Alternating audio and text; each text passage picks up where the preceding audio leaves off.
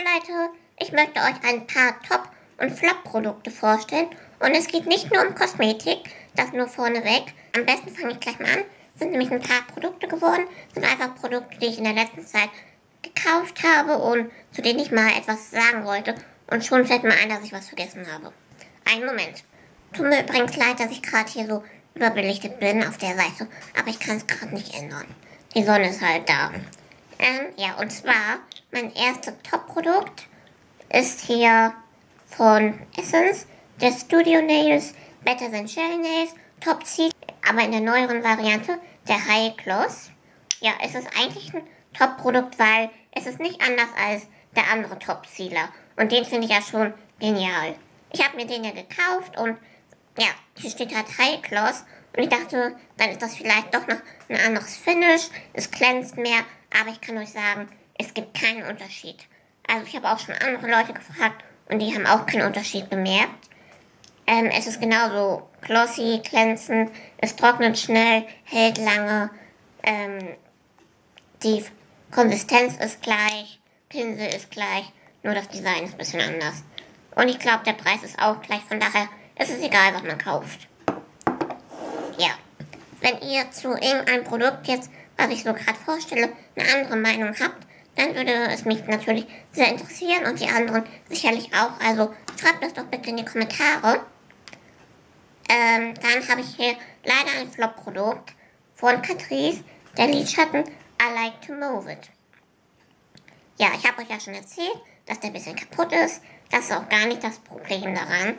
Das Problem ist einfach der Lidschatten an sich. Ähm, ich krieg den nicht aufs Auge. Ihr seht vielleicht, wie ich da schon drin rum äh, gewurstelt habe und gekratzt mit meinem Pinsel, alles. Also ich dachte erst beim Swatchen, oh ja, der ist ja doch gut pigmentiert. Der glitzert so schön, movig. Aber ja, ich krieg den nicht aufs Auge. Ich habe den mit einem normalen Lidschattenpinsel versucht aufzutragen. Da musste ich Schichten, tausend Schichten waren das fast. Na klar. Ähm, und ja, dann habe ich den Pinsel nass gemacht. Ich habe ihn immer noch nicht aufs Auge bekommen. Und mir ist das ganze Glitzer und der starke Schimmer auch noch runtergefallen. Ja, das ist wirklich sehr, sehr ärgerlich. Ähm, in einem Video, ich glaube bei der Nut Make-up 1, wird den auch benutzt. Aber sie hat da drunter diesen Cremelidschatten von Catrice gegeben. Movistar. Also vielleicht sind die beiden nur in Verbindung gut. Und dass der Lidschatten einzeln gar nicht so dolle ist. Ja, das ist leider ein Flop. Bin ich auch sehr traurig drum. Weil ich bin sonst immer sehr zufrieden mit den Catrice Lidschatten. Aber ein toller Lidschatten ist von Luma dieser Bordeaux Weinrot Bärenton. Der heißt Smooth Intensity. Und ich swatch euch den mal. Ähm, ich mach vielleicht noch einen besseren Swatch meine Fotobox mal schauen. Also die Farbabgabe ist wirklich sehr, sehr hoch. Er hat einen leichten Schimmer. Das sieht auch sehr schön aus. Ähm, ja. Man muss halt aufpassen, wer der Lidschatten wirklich sehr gut pigmentiert. Ihr habt es ja vielleicht auch in meinem Get Ready With Me Video gesehen, dass ich echt Probleme hatte, den noch auszublenden in der Lidfalte. Also der ist sehr, sehr hoch pigmentiert und sehr toll für den Herbst. Den Preis finde ich dann auch völlig in Ordnung. Ich glaube, der kostet 4,99 Euro. Ja. Dann ein tolles Produkt ist von Sueva. Dieser Pinsel hier. Ihr habt ja gesehen, dass ich mir ein paar Pinsel bestellt habe. Aber mein Liebling davon ist der Sueva Blush Brush, die 128. Das ist ein abgeschrägter Rouge-Pinsel. Und ich hatte bisher keinen abgeschrägten Rouge. Ja, und das hier war mein Rouge-Pinsel bis jetzt. Das ist so ein runder von Rebecca Flöter aus dem Shop. Und es hat doch einen deutlichen Unterschied. Ich wollte den dann einfach mal ausprobieren.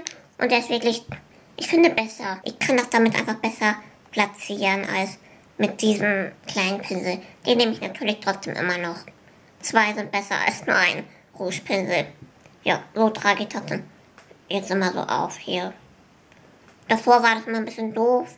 Dann, keine Ahnung, musste ich, äh, ja, eine, da musste ich mehr ähm, hin und her und ja, der war auch ein bisschen kleiner halt. Von daher ist das ein sehr toller Pinsel von Zoeva. Dann habe ich noch zwei Top und Flops. Also, es handelt sich dabei jetzt aber um Wii-Spiele. Genau. Und zwar habe ich mir Cookie Mama 2 gekauft. Habe ich mir bei Amazon gekauft für 16 Euro gebraucht, weil Mimi und ich ähm, wollten schon länger halt gegeneinander spielen. Und hier steht drauf, dass es einen Multiplayer-Modus gibt. Ja, das ist ja auch toll. Dann dachten wir, hey, das ja super, dann können wir endlich mal gegeneinander kochen. Ja, Pustekuchen. Es gibt zwar ähm, irgendwie, das steht bei Cooking, wie heißt denn? Cooking Competition oder irgendeine Funktion ist da drin, da soll es den Multiplayer geben. Das steht in der Anleitung. Ähm, entweder kann man das gegen acht virtuelle Freunde spielen, die schon im Spiel integriert sind, solche Figuren. Oder man kann das halt jemand gegen einen Freund spielen. Ja. Und Mimi hat sich mit ihrem ähm, Wii-Controller angemeldet, aber er tauchte einfach nicht auf. Also ich kann nur diese komischen Figuren auswählen, die da schon in dem Spiel integriert sind und gegen die spielen, aber nicht gegen den zweiten Controller. Ja, und ich weiß auch nicht, was da los ist. Ähm, das ist wirklich sehr, sehr ärgerlich. Oder vielleicht wisst ihr ja, wie, wie ich da den zweiten Controller reinkriegen kann. Ja. Aber ein sehr tolles Spiel ist das hier. Bully, die Ehrenrunde Scholarship Edition für die Wii. Das gibt es auch für die Playstation 2 und ich glaube auch für die Xbox. Auf jeden Fall, ähm, dazu möchte ich sagen, es ist ab 15. Also, wenn ihr noch keine 15 Jahre alt seid, möchte ich euch nicht dazu verleiten, dieses Spiel zu kaufen. Ja. Das ist wie GTA, nur in der Schule. Ähm, es auch von denselben Entwicklern, also, Entwicklern, also von Rockstar Games. Von daher sieht man diese Parallelen von GTA zu diesem Spiel hier deutlich. Ähm, man ist halt in der Schule, man spielt einen Charakter namens Jimmy Hopkins, ja, und der ist auf einem komischen Internat, wo sehr viele Schlägertypen sind.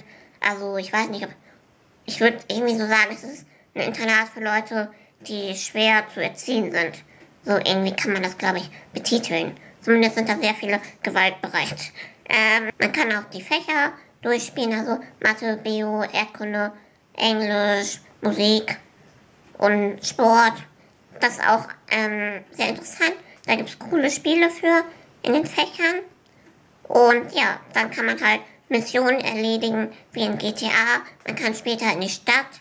Und das macht wirklich sehr viel Spaß. Ich spiele das eigentlich fast jeden Tag zurzeit. Ich hatte das vor zwei Jahren schon mal durchgespielt, aber jetzt nochmal neu angefangen. Es ist wirklich sehr anstrengend auf der Wii. Also ich mache da immer richtig Sport und habe danach Muskelkater. Ja. Also das ist jetzt mal eine Empfehlung von mir. Ich dachte, ich kann dir mal was anderes zeigen als immer nur Kosmetik. Ich würde mich sehr freuen, wenn ihr vielleicht in die Kommentare schreibt, was eure derzeitigen ähm, Top-Produkte sind oder auch Flops. Also dann können wir uns ja immer gegenseitig warnen, welches Produkt jetzt vielleicht nicht so toll ist. Ähm, das würde mich sehr freuen, wenn ihr das irgendwie schreibt. Ähm, dann kann man sich ja das Geld sparen und muss ich das Produkt nicht unbedingt kaufen. Okay, da mich jetzt die Sonne deutlich blendet mittlerweile, höre ich jetzt auf mit dem Video und ich wünsche euch noch einen schönen Tag. Tschüss!